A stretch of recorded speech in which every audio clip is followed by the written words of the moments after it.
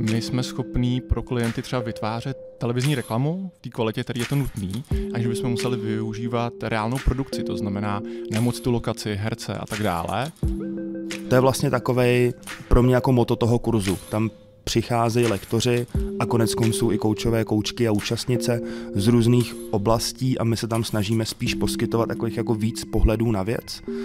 A to právě proto, že zavádění umělé inteligence je jako složitá, ale zároveň nová disciplína a nikdo nemáme jeden perfektní blueprint, který, který by řekl, a když to uděláte takhle, tady je ten algoritmus, tak to bude vždycky fungovat. Určitě jsem viděl, že těch pohledů je tam víc a myslím si, že účastnice z toho můžou extrémně profitovat.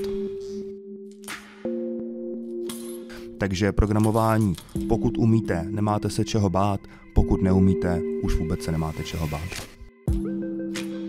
Takže si myslím, že tohle je jedna z těch, jako, je to jedno z těch povolání budoucnosti a myslím si, že firmy velmi brzo jako začnou být lační po lidech, kteří budou propojovat těchto těch několik světů dohromady. V téhle první fázi ty lidi prostě nejsou. Čekytas podcast. Čekytas. Čekytas, Čekytas, Čekytas. Ahoj, zdraví vás Honza Schembauer a dnes natáčím s našimi dvěma lektory a odborníky na umělou inteligenci Adamem Hankou a Zdeňkem Valutem. Kluci, ahoj. Ahoj. Ahoj. Adam měl včera první kurz, jaký to bylo? Bylo to super. Uh, kurz ved Honza Kulíšek a měli jsme tří a půl hodinovou první část kurzu úvodu do, um, jak se vlastně jmenuje, AI manažerka? Jo. Přesně tak. Úvod, úvod, úvod pro AI manažerky. Manažerka AI, Manažerka transfor, AI transformace. transformace, přesně tak. Na co, na co se holky ptali na tom, na tom úvodním kurzu nejvíc? Eh, nejvíce asi zajímalo to, jakým způsobem, eh, jakým způsobem využít umělou inteligenci v praxi. Ona obecně AI transformace je téma, kde v podstatě pomáháme firmám zavádět různý způsoby využívání umělé inteligence, ale eh, konec konců umělou inteligenci dneska může každý používat i ve svém běžném životě, protože že s nástupem generativní umělé inteligence se těch, se těch use caseů se s nimi vlastně jako roztrhl pytel. A nejčastější otázka potom byla na buď to security, to znamená, jakým způsobem to funguje s bezpečností, ale taky jakým způsobem to funguje třeba s řízením projektů, um, jaký nástroje se dají využívat pro to, aby firmy začaly víc používat umělou inteligenci. Těch otázek byla celá řada.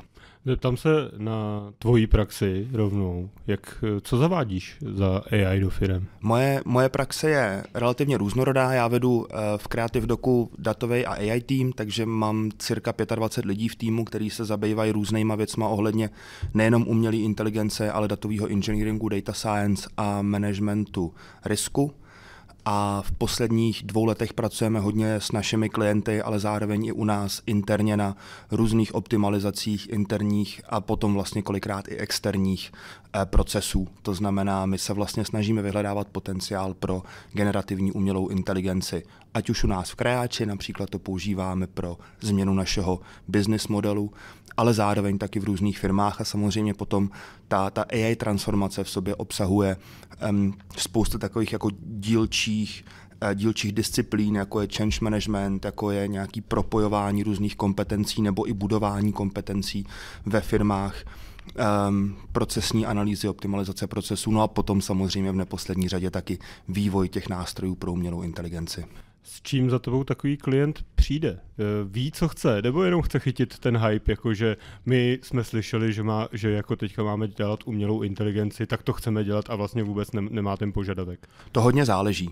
Spoustu našich klientů jsou velmi dobře připravení na využití umělé inteligence a ty už mají kolikrát i třeba nějaký velmi konkrétní představy o tom, e, kam by tu umělou inteligenci chtěli nasadit ale potom jsou taky samozřejmě klienti, který provázíme tím, tím nasazováním AI vlastně od začátku do konce, to znamená od workshopů s boardem a mapování toho, jak to u nich v té firmě vlastně vypadá, přes identifikaci těch správných use caseů, až po, řekněme, implementaci, předání, testování, ale klidně taky vytváření takového, my tomu říkáme AI mindsetu v rámci v rámci těch firm právě proto, aby eh, zaměstnanci potom dokázali sami nacházet co nejlepší potenciál pro využití AI.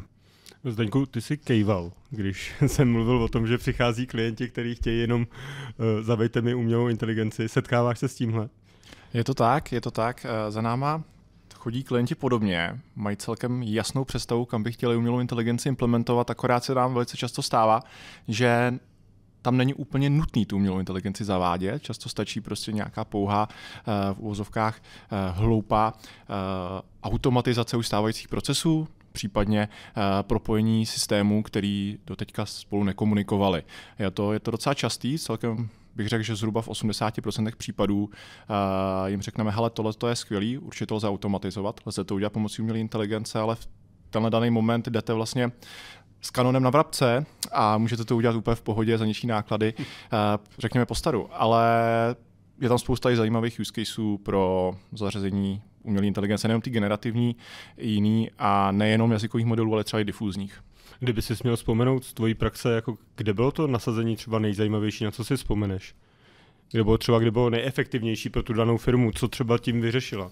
Hele, uh, já vezmu jeden příklad, uh, který je z těch difuzních modelů. To je takový jako líp představitelný obecně. V zásadě uh, dneska my jsme schopní pro klienty třeba vytvářet televizní reklamu v té kvalitě, který je to nutný, aniž bychom museli využívat reálnou produkci, to znamená nemoc tu lokaci, herce a tak dále. Vlastně si vytrénovat vlastní difuzní model, který máme uložený na vlastním hardwareu a tam je zakomponovaná nějaká stylizace a všechny ty parametry, které si domluvíme a díky tomu jsme pak schopní velice pružně reagovat na tu poptávku ze strany toho klienta už nediskutujeme nad tím, jak to má vypadat, protože to už je tam daný a pak relativně rychle jsme schopní uh, vytvořit další a další pokračování těch reklam v televizní kvalitě, což je velice efektivní z pohledu třeba úspory času a financí pro toho klienta. Takže třeba tohle je, je skvělá věc, uh, kterou tady děláme. Dalo by se říct, kolik na tom ten klient může jako ušetřit řádově? Určitě, tak je to zhruba 50 až 60% záleží na tom typu. Jo, takže tam to lze i snížit tím tím způsobem. Zeptám se vás obou, jaká je vaše specializace v rámci uh, toho kurzu? Uh, manažerky AI transformace. Vy máte trošičku jiné zaměření, jestli se nepletu. Je to tak. Já se zaměřuji hlavně na ten change management a mapování procesů. To je core té naší služby. Je to dost podobné, co říkal Adam. Vlastně, když někam přijdeme, tak se snažíme zmapovat, jak to v té firmě funguje a najít ty správné místa pro implementaci AI, tak aby to nebylo jenom na sílu samoučelný, tam, kde to má opravdu nějaký přínos. A s tím je hodně spojený právě ten change management a to, co vlastně a děláte říkal. i tu implementaci, Samozřejmě. ten consulting. Ano, ano, je to tak. Děláme i, i tu implementaci jako takovou. Typicky jsou to často automatizace spojené uh, právě s využitím jazykových modelů typicky. A u tebe, Adame, ty děláš něco jiného, nebo by si řekl, že to je podobné? Já se teď koukám do těch témat, které jsme si tady tak různě rozdělovali a myslím si, že jsme si je rozdělili hodně společně. Já jsem uh, studoval matiku, informatiku, počítačové vidění, umělou inteligenci, takže pocházím z toho světa původně C++ programátorů a lidí, kteří to ještě implementovali. Programoval jsem některé první implementaci umělé inteligence v kudě na grafických kartách třeba před třeba dobrýma deseti lety, ještě vlastně předtím, než, než přišly různý TensorFlow nástroje a podobně, ale posledních pár let se vlastně věnuju spíš právě práci s klienty, práci na projektech, change management jsem se samozřejmě musel v době umělé inteligence taky trochu naučit, ale, ale nemám s ním eh, desítky let zkušeností. Takže já si myslím, že moje role je tam spíš takový jako governance, přínos nějakého jako praktického využití, sdílení toho, co se nám povedlo a toho, co se nám třeba nepovedlo, protože i takových projektů samozřejmě je hodně, kdy se člověk pokouší dělat s něčím tak novým, jako je, jako je umělá inteligence. A mě to vlastně zajímá od jako EU AI Actu přes implementace, promptování, vyhodnocování efektivity nástrojů umělé inteligence. To je jedna z těch, jeden z těch uhelných kamenů. My jsme, my jsme minule na té přípravné schůzce vedli eh, se Zdeníkem takovou debatu o tom, že k tomu vlastně možná i každý přistupujeme trochu jinak.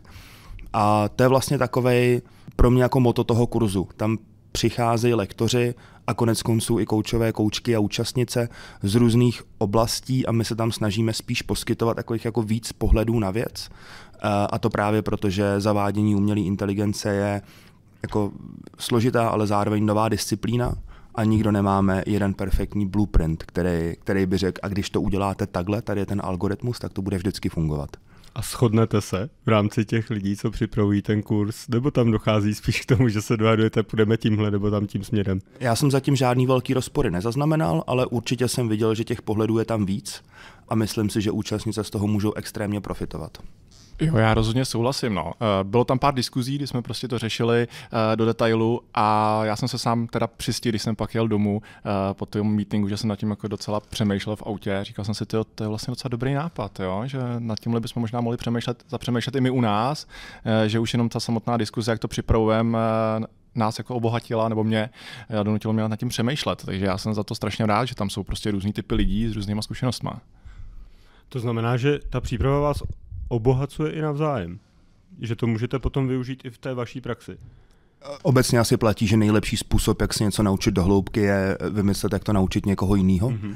Takže v tomhle nás to určitě obohacuje všechny. Ty, ty debaty se skvělými lidmi při přípravě jsou vlastně jako tak dobrý, že už jsem si z toho i něco zase vzal zpátky pro, pro uh, to, jak fungujeme v Creative Doku.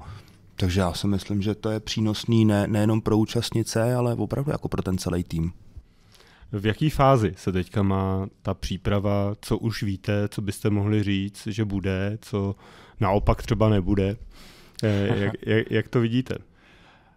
My teďka finišujeme vlastně rozložení toho následného kurzu, že jo? teďka byl ten úvod do AI transformace, uh, to je taková prerekvizita, takže teď nás čeká už uh, ten plnohodnotný, plnotučný kurz a tam je to vlastně rozdělený na čtyři části. Uh, první je change management a AI transformace jako taková, pak se budeme bavit o technických aspektech umělé inteligence, to je taky velice důležitý. Implementace a řízení projektů je číslo tři a na závěr, a to je to, co tady zmiňoval Adam, tak je velice důležitá oblast etika, bezpečnost, regulace a obecně komunikace celé té věci uh, směrem do té firmy a potažmo třeba i ven. Takže to jsou taky čtyři základní oblasti, které mezi sebou máme rozdělený a uh, těm se budeme věnovat. No tak začneme u tebe rovnou tím change managementem. Co tam se uh, účastnice dozví? Ale u nás Můžeš úplně obecně, nemusíš Dobře. jako konkrétně, spíš jako co by měli umět po tom, co projdou tvým change managementem. První věc, kterou si ty uh, absolventky vlastně odnesou a co by si měli uvědomit po tom, co tím projdou, je, že to není jenom o té technologii, až se tak může na první pohled zdát, a že bude docházet uh, k určitým um, změnám docela dohloubky v rámci nejenom firmy jako takový a procesů, ale třeba i firmní kultury, mindsetu, zase už to zmiňovali Adam, že to je i o tom, jak se vlastně postavit k té práci s umělou inteligencí. Často to může být pro někoho třeba útok na jeho ego, může to být nekomfortní, může se tomu stavět nějakým způsobem negativně, zcela objektivně, protože je to neznámý, neznámá věc a je to nový. Takže uh, je to o tom správně nastavit ten proces změny a řídit ho skrze tu celou firmu což je prostě práce s lidma a to prostě nikdy není jednoduchý a já se tam snažím představit nějaký frameworky a postupy, aby se to správně mělo dělat, ukázat nějaký příklady z praxe, kdy se to povedlo, kdy se to nepovedlo eh, a tak dále a pak volně to eh, vlastně navazuje na to mapování procesů v té firmě a tak dále, protože uh, přece jenom řídit změnu někde, kde vlastně nevím, co se mi úplně děje pod rukama, uh, není úplně ideální. Jak moc ty pracuješ v rámci eh, toho change managementu s tím, že mnoho lidí si to představí jenom jako změna procesů, ale ono je to i práce s psychologií, protože lidi jsou rezistentní ke změnám v těch firmách. Takže jak se s tímhle s tím pracuje a bude to třeba muset i umět ta naše eh, studentka? No jasně, samozřejmě, to je přesně ono. Jo. Já myslím, že jsi to úplně trefil. A je třeba zjistit, jak je to rozložení v té firmě, jak se k tomu ty lidi staví a pokud k tomu mají nějaký rezistentní přístup, tak proč? zjistit tu motivaci. Někdo se může bát o práci, někdo to může mít zase z nějakého jiného důvodu, takže někdo prostě jenom chce dělat ty věci po staru, má rád tu rutinu. Jo? A my na to máme prostě nějaké metodiky, jsou na to postavené nejenom dotazníky, ale i nějaké další šetření, které mají za sebou nějaké psychologické postupy nebo přístupy. A díky tomu se snažíme tohleto zjistit a následně odbourat, tak aby to směřovalo ne k tomu, že ta umělá inteligence nějakým způsobem bude nahrazovat ty lidi, ale aby ji efektivně přijmuli, prostě do své práce a byli schopni s ní fungovat. Protože paradoxně, že jo, to nejdůležitější, co ty máš v té firmě, jsou ty lidi. A ty jim teďka dáváš nějaký nový nástroj, který zase má nějaký jiný rozměr, na který nejsou zvyklí a ty potřebuješ, aby ho efektivně používali. Že to, že jim to tam dáš, efektivně to zavedeš, tu technologii, neznamená, že ji budou všichni používat a pokud ano, takže ji budou používat efektivně. A to je uh, přístup právě toho change managementu. A ideálně, aby se nestalo to, že po nějaký době, řekněme třeba nějaký fázi nadšení, se oni vrátili k tomu, jak to dělali prostě po staru. A najednou se vytratí celá ta časová třeba potažmo finanční investice. Jaká je tvoje zkušenost ještě v rámci toho change managementu s tím, eh, jak moc dobrý musí být ten nástroj, aby ho ti lidé přijali? A teďka úplně eh, trošičku odbočím, jo, ale teďka se hodně mluví jako v televizi o digitalizaci stavebního řízení, což mi přijde jako velmi podobný, kde na úřad zavádíš něco, co by mělo zrychlit ty procesy, ale mám pocit, že ti úředníci jsou a, a priori proti tomu, protože se musí učit něco nového. Jestli tohle je běžný stav v těch firmách a jestli to je skutečně o tom, že ten výsledný produkt je špatný, anebo je to a priori o tom, že ti lidi tu změnu nechtějí, jak jsi říkal, že jsou prostě vůči mm, těm změnám prostě rezistentní. Hmm. Hele, já jsem mile překvapený z toho, jak se obecně ty lidi k těm eh, změnám staví. My pracujeme i pro veřejnou zprávu, tam jsem teda čekal větší rigiditu, ale velice mě překvapilo, že tam ty lidi opravdu jsou nakloněni tomu, že dostanou do ruky nástroj, který má potenciál jim pomoct. Na to, na co si obecně stěžují, je, že nemusí nutně mít ten správný support zevnitř té firmy. To znamená prostor pro to uh, se s tím naučit, odbourat nějaké obavy a mít prostor to efektivně využívat, protože tam se může velice rychle dostavit nějaký zklamání v momentě, kdy ty tu technologii začneš používat, nemáš tomu uh, ani třeba nějaký základní, nějakou základní průpravu a může se dostavit to zklamání z toho, že to třeba nedělá to, co je prezentovaný, to, co se všude jako děje a slibuje to ta technologie.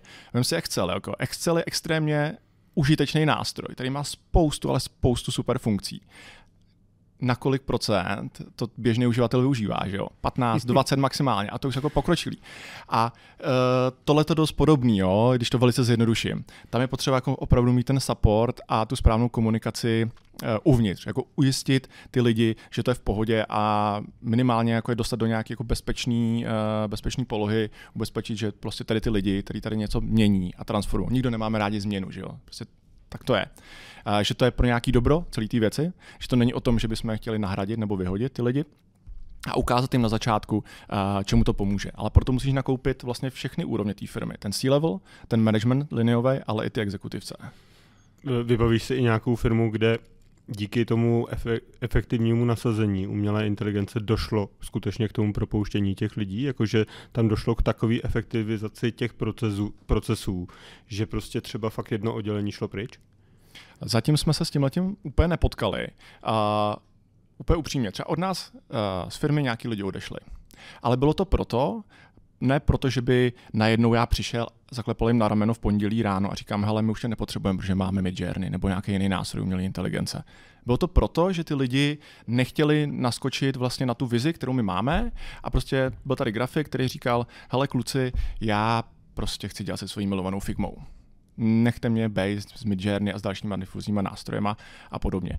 A což prostě se třeba neslučovalo s naší filozofií a úplně v pohodě jsme se rozešli, dali jsme mu doporučení, někam jinam, bez problému našel práci, ale uh, je to o tom, že ty by si správně měl těm lidem uvolnit tu, to, co, uh, ruce od toho, co je nebaví, od té rutiny, od toho, co je může na té práci paradoxně štvát. Takže ty, co baví a dát ta jim rutina, tu přidanou hodnotu. Jako je to tak, zase na druhou stranu, uh, úplně upřímně, v některých větších firmách, obecně, když budu mluvit, jsou prostě lidi, který my interně říkáme tzv. přenašeči vody. Jo? Prostě jsou tam lidi, kteří nemají v tom procesu žádnou velkou přidanou hodnotu a jako brání se nějaký míře zodpovědnosti a teď tam mají nějakou formu svojí práce, eh, kterou lze nahradit. Ale bylo by špatný nad tím přemýšlet tak, že ten člověk, který už tam je, už je onboardovaný, zná tu společnost, má tam vazby, tak v momentě, kdy se tohle ukáže, tak se mu má nabídnout ta možnost, hele, pojď dělat něco jiného pojď se rekvalifikovat nebo začít dělat něco, co má větší přenohodnotu nejenom pro tebe, ale potažmo i pro tu firmu. Prostě, aby si se rozvíjel.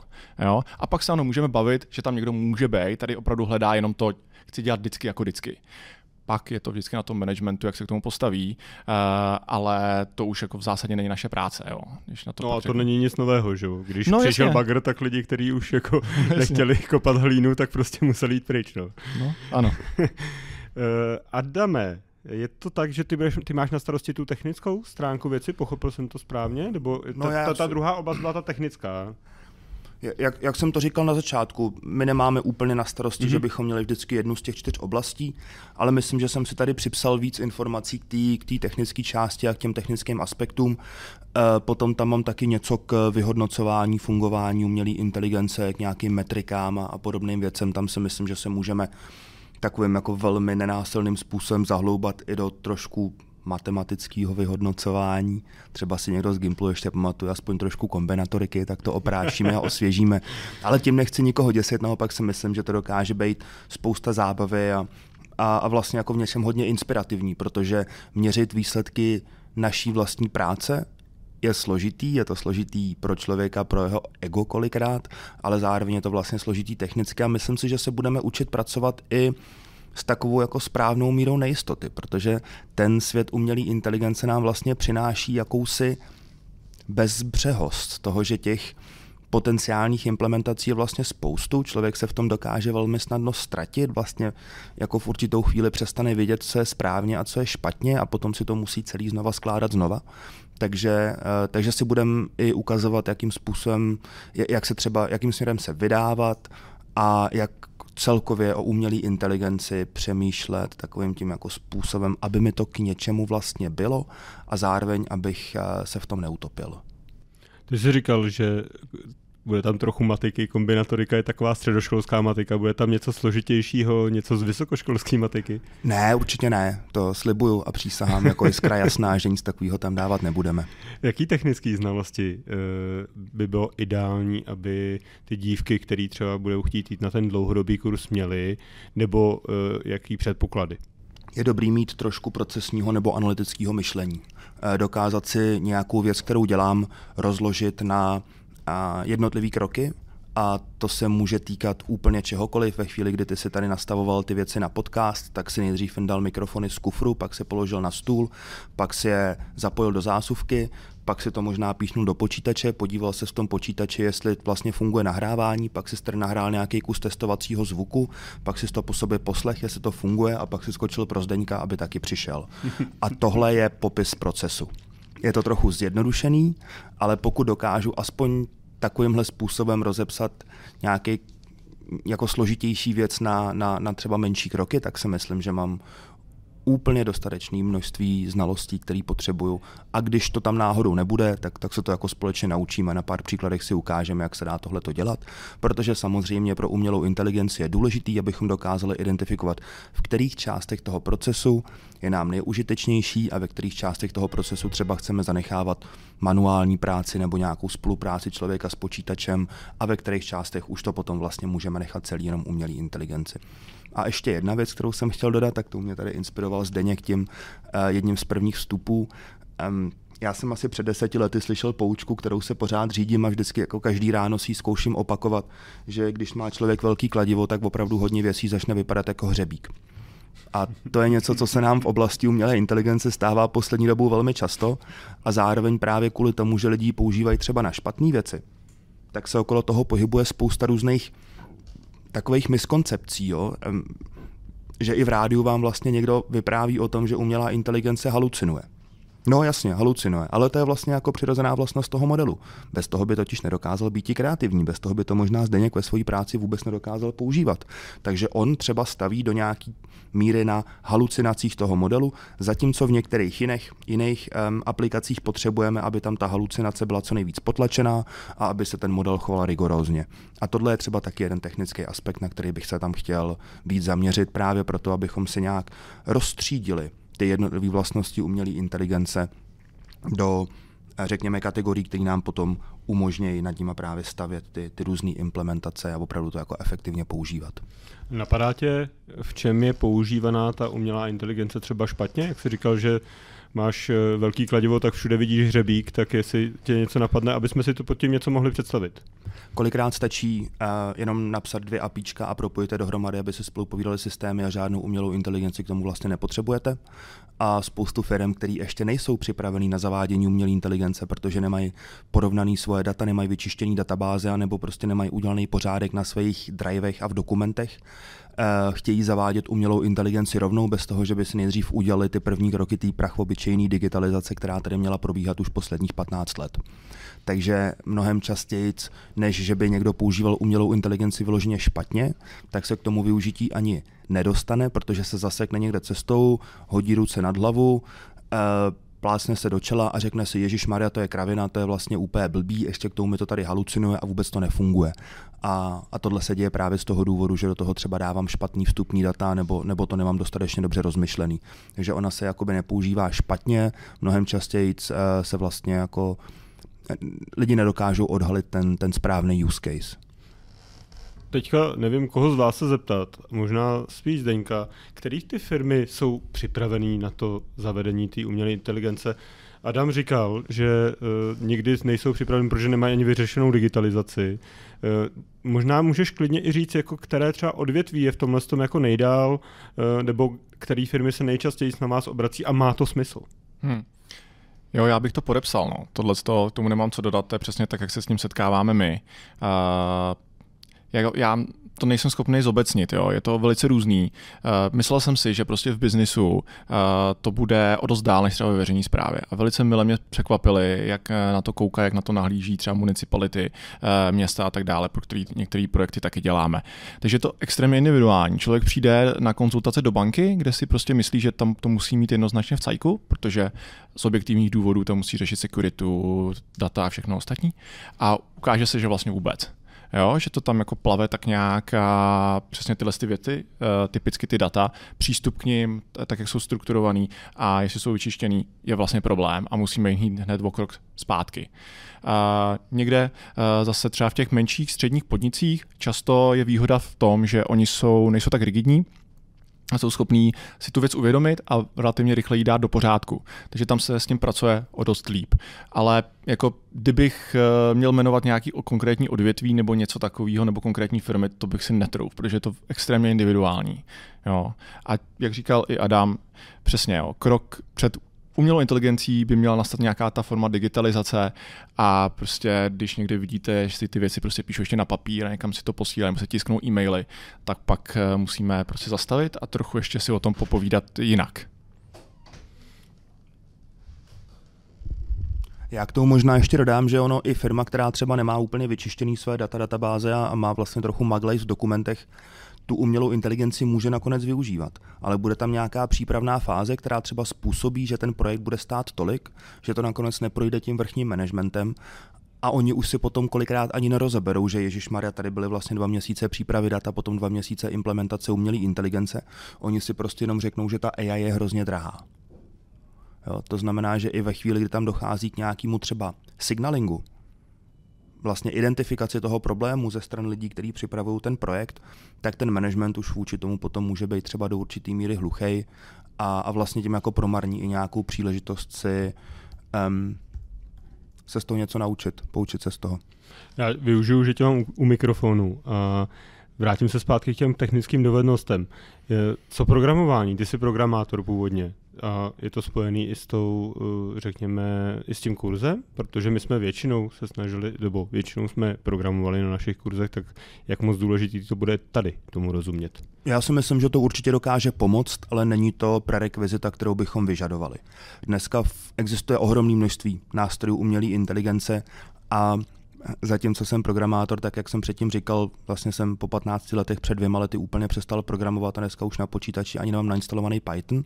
A i přesto si myslím, že dokážu v zavádění umělé inteligence pomáhat hodně a vlastně jakoby možná víc než ve chvíli, kdybych se zahloubával do jednotlivých implementací. To potom nechávám našim, našim data engineerům nebo data scientistům a expertům, protože ty jsou v tom kolikrát mnohem lepší než já.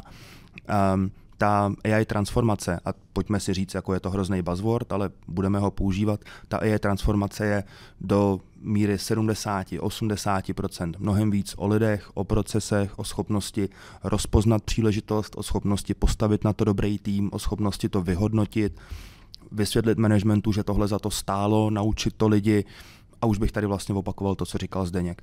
Pokud si ale někdo bude chtít jako zaprogramovat v rámci toho kurzu a přijde třeba s nějakýma elementárníma znalostma Pythonu, Node.js a tak dále, tak je tam v těch projektech určitě dokáže využít, protože nemusíme všechno sypat jenom do custom GPTs nebo obecně do chat GPT a jiných nástrojů, ale dá se to potom dát i do APIčka, dá se to někam nasadit, můžeme si to automatizovat, můžeme si to propojovat s jinýma systémama.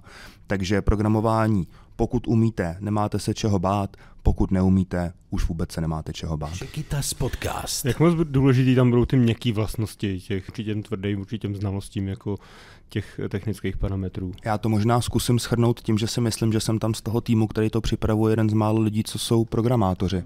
My tam máme vlastně mnohem víc lidí, kteří dělají uh, change managementy, lidskou motivaci, stavění týmů, vyhodnocování a řízení projektů a jsem možná jediný, kdo umí kódit z celého toho přípravného týmu. To je možná zajímavý v tom smyslu, že uh, zavádíte umělou inteligenci, ale ty lidské vlastnosti jsou tam strašně důležitý. No vlastně tak je to tak, že jo. Tak náže, název toho kurzu je manažerka AI transformace, takže je to manažerská pozice. To znamená řízení lidí, dělání do nějakých rozhodnutí, uh, nějaký, nějaký úrovni středního managementu a případně doporučení směrem nahoru. A to je přesně ono, že jo. Ty se potřebuješ orientovat v tom problému nebo v té problematice eh, na víc úrovních a ne nutně musíš do takového detailu, typicky to programování. Ty musíš vědět, co to pro tebe znamená v té firmě.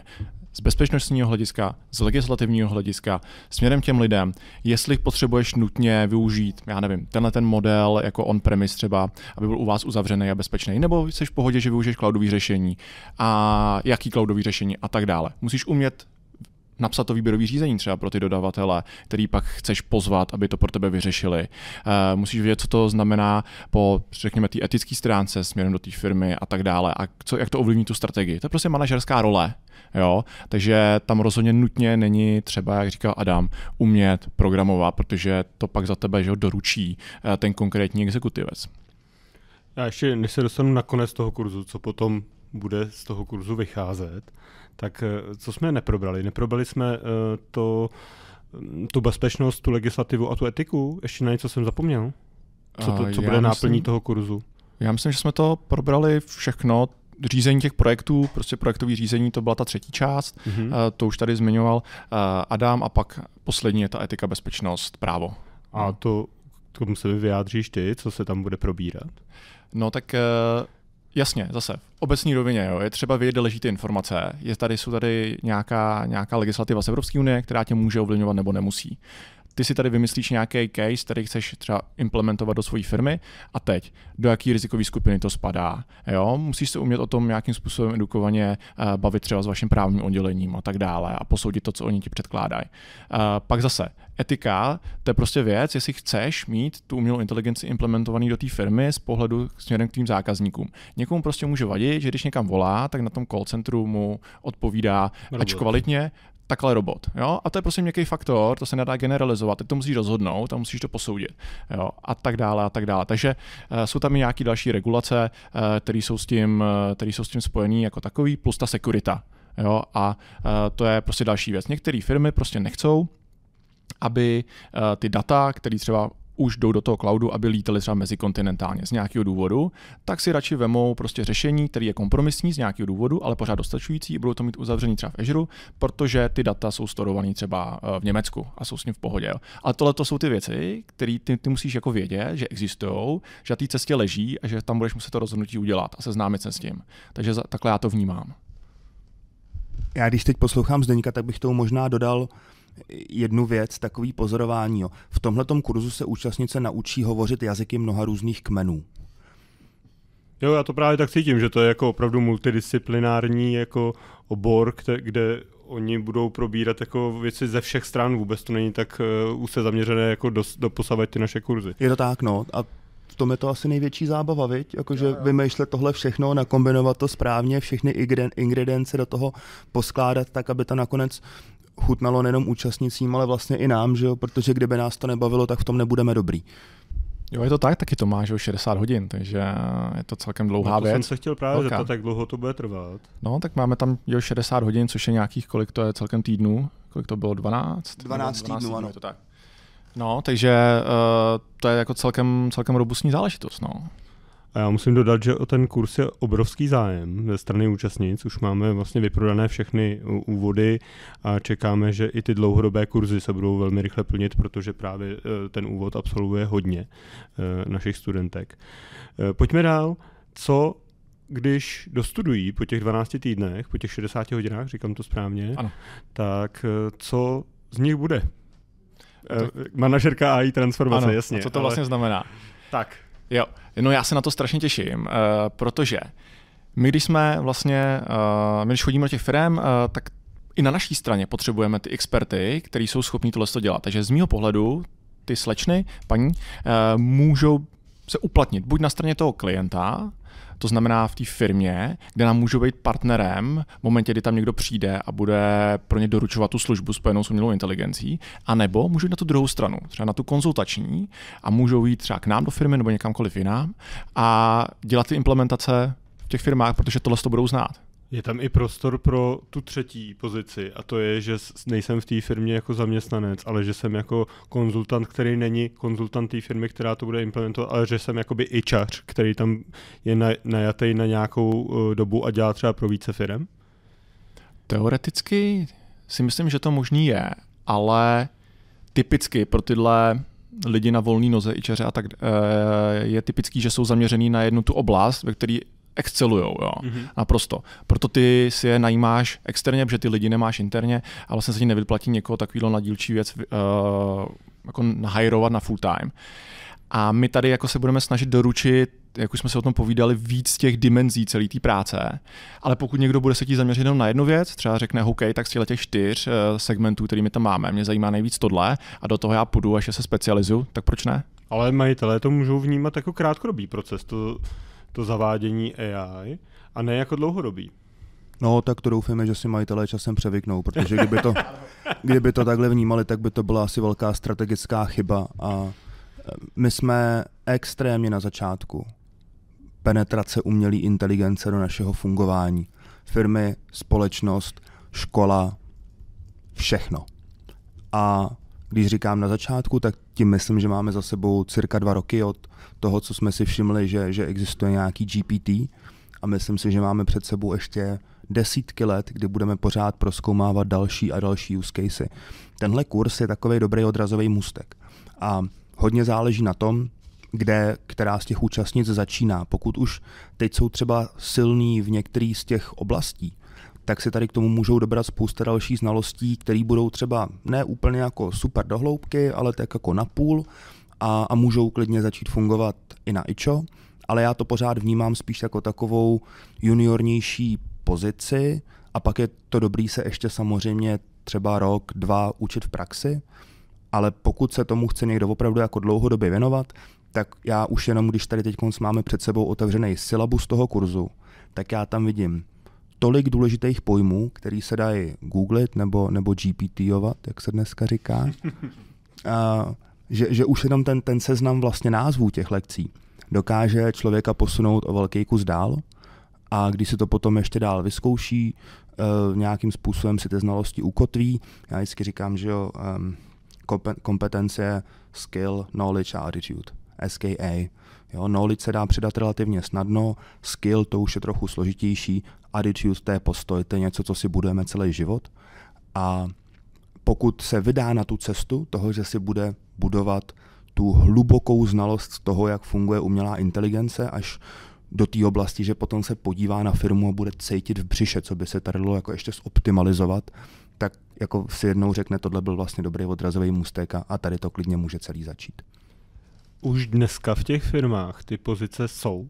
Už, uh, už ty firmy to, a můžou to obsazovat třeba interně, můžou, uh, vypisují už výběrová řízení, řekněme, na něco takového, anebo je to spíš jako, že to bude v budoucnu, že to cítíte, že to třeba přijde a kdy? Z té zkušenosti, kterou já jsem uh, zatím udělal, tak uh, to řeknu možná trochu ošklivě vůči našim klientům, ale kdyby nám sem občas někoho poslali na tenhle kurz, tak by se nám s našimi klienty často pracovalo mnohem snáze, protože zatím ty firmy se snaží spíš nějakým způsobem dovzdělávat svoje interní zdroje, interní zaměstnance a bohužel to potom končí tím, že jsou ty lidi vlastně jednostranní. Buď to jsou to lidi, kteří třeba dřív dělali agilní transformace a více soustředí jenom na change management, ale o umělé inteligenci toho mají třeba relativně jako málo zjištěno, anebo se to postupně doučují, anebo jsou to naopak lidi, kteří pochází z toho víc inženýrského prostředí, eh, to znamená rozumějí umělé inteligenci, nebo aspoň třeba někdy v životě viděli nějakou neuronku,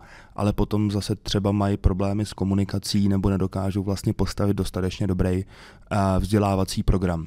Takže zatím si myslím, že to, co se v tomhle kurzu za těch 12 týdnů, 60 hodin dokáže účastnice naučit, je to trochu přehledového charakteru, ale jak jsem říkal, je to dobrý odrazový můstek k tomu, aby si ty znalosti potom dál prohlubovali. Tak dneska ve firmách zastávají dva až tři lidi, kteří se spolu uh, musí hodně synchronizovat. Takže si myslím, že tohle je jedna z těch, jako, je to jedno z těch povolání budoucnosti a myslím si, že firmy velmi brzo jako začnou být lační po lidech, kteří budou propojovat těchto těch několik světů dohromady. Já si vzpomínám, jako když ještě začínal jako Google, Facebook a tak a vidím, kolik to dneska vytvořilo jako pozic. Je to tak, že jsme teďka taky na Prahu toho, že nám to, o čem se teďka bavíme, co nám přijde jako, řekněme, sci-fi, nebo bavíme se o tom, že byste chtěli, aby to v těch firmách zač- začalo být, tak to už bude za deset let úplný standard? Já už si do konce života neplánu hledat jinou práci. ne, já souhlasím, určitě. Já když si na to vzpomenu taky. Jakože teďka, když se bavíme o nějaký AI transformátorce, ano. tak to bude třeba jako jedna z x pozic, který budou právě pracovat s tou inteligencí, jako dneska máme PPCčkáře, jako máme No jasně, prostě ale to se určitě bude granulovat, protože já když si to vzpomenu, přesně, jak ty jsi to správně pojmenoval, jo, socky, sociální sítě, před nějakýma třeba deseti lety to ještě bylo jako považované za něco, co uh, není samostatná pozice. Případně to může dělat jeden člověk, zvládne to, nebo se to hodí prostě tady na nějakou pozici na půlvaze, tady sekretářka nebo někdo, tam budeš něco dávat, nějaký obrázky a bude to v pohodě, tam něco napiš.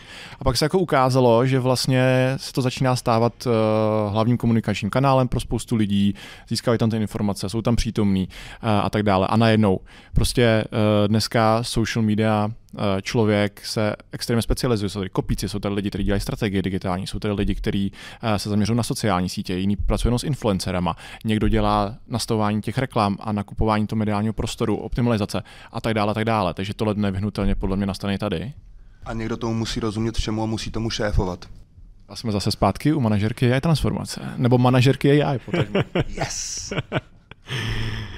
Uh, jak vás tak poslouchám, tak uh, vy jste tu manažerku AI transformace dali spíš do HR oddělení, než do IT oddělení. Vidím to správně nebo ne? Určitě ne do IT. Nikdy, nikdy, nikdy do IT. A to říkám, já to říct můžu, protože z toho světa pocházím a není to dobrý nápad. To znamená, že jsi to řekl první, že máš te, uh, ten background toho, můžeš to potvrdit, že my říkáme taky, ne, ne, ne, ne, ne do IT ne. Uh, úplně ideální umístění je přímo pod COO, eh, potenciálně vyčlenit uh, vlastní direktor místo v boardu nebo někde pod boardem a nebo pod nějakého chief strategy officera. Že? To se samozřejmě bavíme o větších firmách, které mají tyhle ty role nějakým způsobem pojmenovaný. Viděl jsem ale už i opravdu velkou firmu, banku, 40 tisíc zaměstnanců, který měli v zásadě jako dvě oddělení. Jedno bylo čistě HR a druhý bylo Change Management and Education a vzniklo to tak, že se HR oddělení rozdělilo na dvě tyhle ty pododdělení. Takže jo, může to klidně patřit do HR, pak je tam ale otázka síly mandátu, schopnosti ty věci prosazovat a schopnosti včas a dostatečně rychle se probouchat uh, k managementu a, a mít nějaký jako velký zastání, protože pokud to chcete pojmout opravdu zodpovědně, tak zavádění AI do firmy je velká změna. Je to změna, která prostupuje napříč celou tou firmou.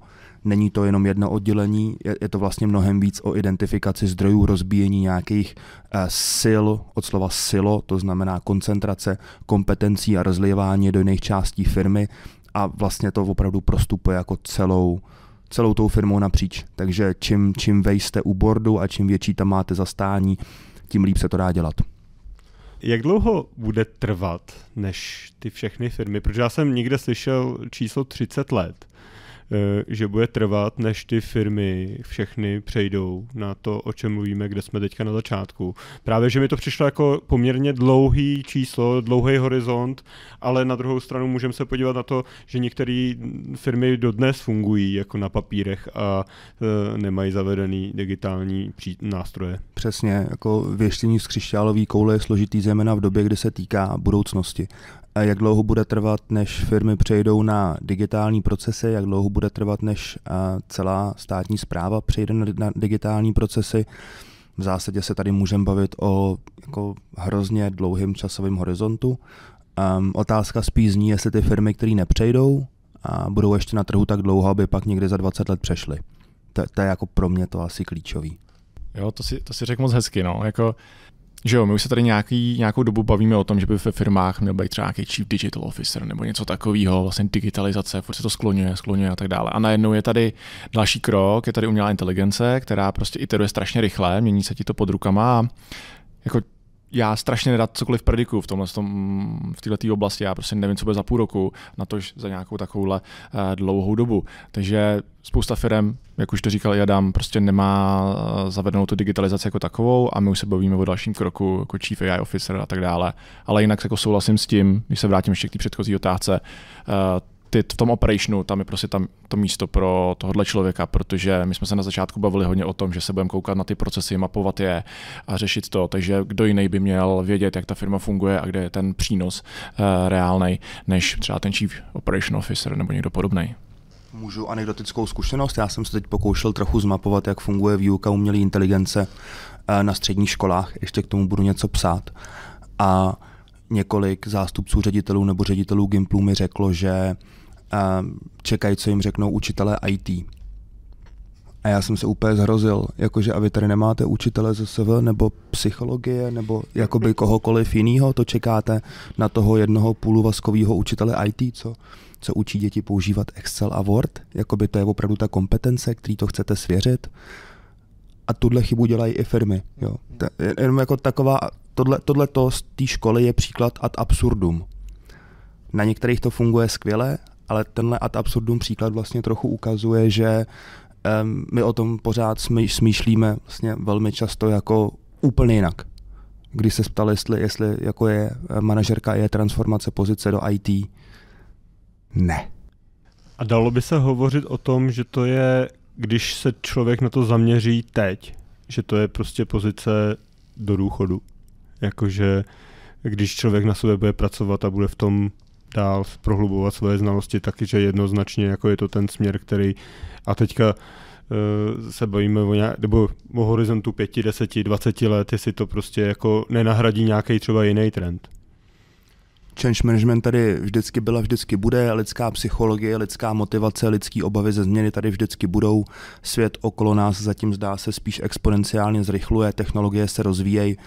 Jestli je manažerka AI transformace, pozice do důchodu, to nevím, ale pokud se chcete naučit do firm zavádět nový procesy, nový nástroje a vlastně pochopit, eh, proč tam vzniká rezistence nebo eh, jak těm lidem co nejvíc pomoct v tom, aby se to naučili, tak to třeba za deset let budete dělat s něčím jiným. Já kdybych si dokázal představit, s čím tak tady nesedím a ležím na Bahamách, protože bych byl asi hodně bohatý, ale určitě se do firm budou stále a stále zavádět jako nové technologie, které budou se efektivňovat. Jo, já jednoznačně souhlasím. No. To, já si taky netroufnu říct dopředu, jak to bude vypadat za deset let, ale to, co říkal Adam, to jednoznačně platí. Prostě řízení té změny, ať už v jakýkoliv formě, je něco, s čím se ta firma musí potýkat nebo vyrovnat a nějak to vyřešit už jenom z principu toho, jak funguje, jak roste a jak se chová v tom konkurenčním prostředí na trhu. Takže tady ty znalosti, které se tady nabidou, eh, za mě budou uplatnitelné jako dlouhodobě. A když byste, vy oba dva figurujete ve firmách, a když byste třeba kolegyni měli říct, přihlaš se na tenhle ten kurz, tak eh, podle čeho byste ji vybrali, nebo jaký ty vlastnosti by podle vás měla mít, že by podle vás splňovala to, ty dobré predispozice na to být dobrou manažerkou AI transformace. E, napadne vás to? Možná jste nad tím i přemýšleli v rámci jako firm. Že byste tam poslali nějakou vaši kolegyni, která splňuje třeba to, že má některé vlastnosti, které by na to byly fajn. Ale tohle je zajímavá otázka. Jo. Uh, já tomu trochu ze široké si můžu, jo? protože jak já jsem se k tomuhle dostal, vůbec tomuhle kurzu, protože my jsme se snažili sehnat lidi k nám do firmy, kteří by tohle uměli. A přesně jak říkal Adam, buď tady byli skvělí technický lidi, kteří neměli shine o konzulta- konzultingu a těch měkkých faktorech, anebo tady byli lidi třeba z velké čtyřky, skvělí konzultanti a nevěděli nic o tom AI eh, nebo o té umělé inteligenci jako takový. A já to potřebuji skombinovat. A to je přesně to, eh, co mě tady na tom láká a z čeho, eh, nebo jaký typy vlastně absolventů nebo absolventek v tomhle případě z toho budou padat. A já vždycky říkám, že prostě je to manažerská pozice, musíte mít nějaký jako osobnostních uh, vlastnosti, které jsou proto vhodné, pro tu práci li, s lidmi, odolnost vůči stresu, že ty věci okolo, ty prostě zůstávají. A za mě je to pak jenom to nadšení. Já potřebuju toho člověka, který na to má ten drive, který bude ochotný se učit, uh, protože tím, jak se to rychle vyvíjí, tak se prostě adaptovat. A tady to je přesně ten svět, kde se to prostě spojí a pak už hledám někoho, kdo fakt bude mít to nadšení. Já nechci prostě uh, titul uh, z ČVUT, opravdu to nepotřebuju a z praxe my tady máme lidi, kteří jsou opravdu různí. Prostě dělali třeba v Deloitu nebo něco takového, doučili se tu druhou část nebo obráceně. Jo, prostě jde to. Jo. Ty by se Adame měl nějakou kolegyni, kterou by si tam poslal? No tak určitě Věrka z druhého patra, no. fakt hrozně souhlasím s tím, co říkal Zdeněk. Nejdůležitější je chtít, když se řekne umělá inteligence nebo, nebo takový ty věci okolo change managementu a rozsvítí se vám aspoň, aspoň půlka jednoho oka, tak, tak si myslím, že to už je dostatečná kvalifikace. A přečíst si syllabus, říct si, jestli mi ty věci vlastně aspoň trochu dávají smysl, poslechnout si nás dva nebo nás tři a říct si, jestli taky trochu dáváme smysl, protože jestli ne, tak to pro vás možná bude utrpení. A Um, a vlastně jako třeba chtít změnit kariéru nebo, nebo chtít se jako posunout v dál nebo v vedle a, a zase proskoumat nějakou jinou oblast lidského počínání, tak to si myslím, že jako vlastně dostatečný. Já, já tam nevidím jeden konkrétní profil nebo, nebo ani vlastně pět konkrétních profilů, protože ten kurz je široký a každý, kdo tam přijde, si jako přinese už asi část věcí, který ví a mimochodem jsem se spoustu z těch věcí aspoň povrchně naučil vlastně kdysi v neziskovce, kde jsem dělal dobrovolníka nějakých třeba deset let jsem prostě dobrovolničil v neziskovce a, a dělal jsem to vedle matfizu a díky tomu vlastně dneska taky můžu dělat to, co, to, co dělám, protože jsem se to vlastně nějak, jakoby jsem to cestou pobral a nebyl jsem jenom jako jednostranně zaměřený programátor. Takže vlastně třeba nějaká jakoby všestranost je docela dobrá kvalifikace. Asi jo. A právě o té všestrannosti hovořila i naše CEO Senta Čermáková, která hm, hovořila o tom, že u téhle té pozice by se dalo hovořit i o tom, že i na té juniorní pozici by si ta uchazečka mohla sáhnout na uh, mírně lepší plat nebo vyšší plat než třeba uh, juniorní pozice, ať už je to v datech nebo třeba v testování. Uh, s tímhle s tím máte zkušenosti, souhlasili byste, nesouhlasili, nesouhlasili byste? Já bych s tím souhlasil minimálně v té úvodní části, protože v téhle první fázi ty lidi prostě nejsou. A bude po nich velká poptávka a už jenom tohle to potlačí uh, tu cenu jejich na trhu práce nahoru. Jo, takže už jenom z tohohle principu si myslím, že ty lidi s touto kvalifikací budou vysoce poptávaný a proto si budou moct třeba říct o nějaký trochu vyšší plat. E, mým hostem byl Zdeněk Valut a Adam Hanka. Pánové, díky moc. Díky za pozvání. Díky. Díky a těšíme se na kurz. A pokud vás cesta manažerky AI transformace zaujala, mrkněte na Čekitas.cz, přihlaste se na úvodní kurz nebo na sérii bezplatných kurzů Poznej. Přesvědčíte se pak, že v Čekitas otevíráme ženám nejen svět IT. Čekitas podcast. Čekitas.